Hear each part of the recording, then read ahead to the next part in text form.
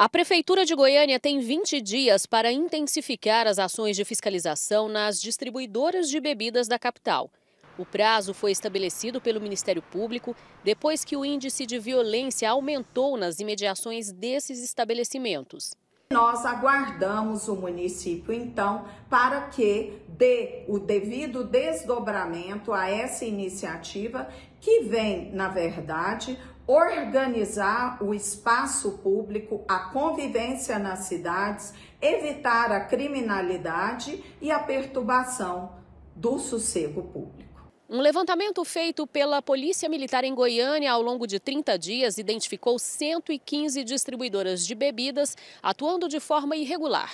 De acordo com a polícia, todas elas estão funcionando como bares, disponibilizando mesas e cadeiras para o consumo de bebidas no local, o que é proibido e estaria colaborando com o aumento da violência na cidade. Câmeras de segurança flagraram um policial penal de arma na mão agredindo uma mulher na frente de uma distribuidora de bebidas em Goiânia. Há casos bem piores. Aqui, um cenário de bang-bang. Um homem leva vários tiros. Por pouco, o outro, que tapa os ouvidos, não é atingido também. Algumas confusões acabam gerando mais violência. Esta cena é de um atropelamento em maio deste ano. Uma mulher morreu. De janeiro a abril deste ano, Goiânia registrou 34 homicídios, 14 deles em distribuidoras de bebidas.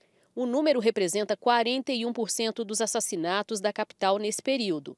De acordo com o subcomandante do policiamento da capital, a fiscalização já estaria surtindo efeitos positivos. Os resultados do mês de julho e agosto, apenas dois homicídios referentes à porta distribuidoras. Grande parte das distribuidoras da nossa capital estão sendo fiscalizadas diuturnamente pelas equipes da Polícia Militar. De acordo com o diretor de fiscalização da CEPLAN, a recomendação dada pelo Ministério Público está sendo cumprida.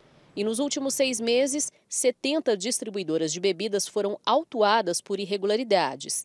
Caso os estabelecimentos continuem irregulares, devem ser notificados, multados e, se necessário, até mesmo interditados. Identificado o, o local, né, a, a passado para fiscalização, acompanhado da, da, da, das equipes de segurança, nós fazemos a abordagem do estabelecimento, proprietários, identificamos se existe a irregularidade, caso exista a irregularidade, que é funcionar sem um alvará de funcionamento ou em desacordo com o alvará de funcionamento que foi emitido, é, esse estabelecimento ele imediatamente é autuado e caso haja alguma outra irregularidade, por exemplo, o uso da calçada ou de algum equipamento que esteja fora do que está determinado pela legislação e para licença, presença de mesas e cadeiras na calçada, churrasqueira, isso é apreendido.